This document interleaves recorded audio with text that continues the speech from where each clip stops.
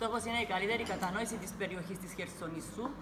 Έτσι, οι περιοχές με, να αναπτυχθούν με πινακίδες, να μπορεί ο επισκέπτης να καταλαβαίνει σε ποια περιοχή βρίσκεται και έτσι να, ε, δι- απο- να αποφεύγονται δυσάρεστα περιστατικά που χάνονται οι επισκέπτες στον Ακάμα και οι κοινότητες που προσπαθούν η αστυνομία να τους έβρει και ξέρω εγώ και οι μόνιμοι κάτοικοι να μπορούσαν να καθοδηγούν τον επισκέπτη πιο εύκολα όταν υπάρχουν πινακίδες και ξέρουν τους.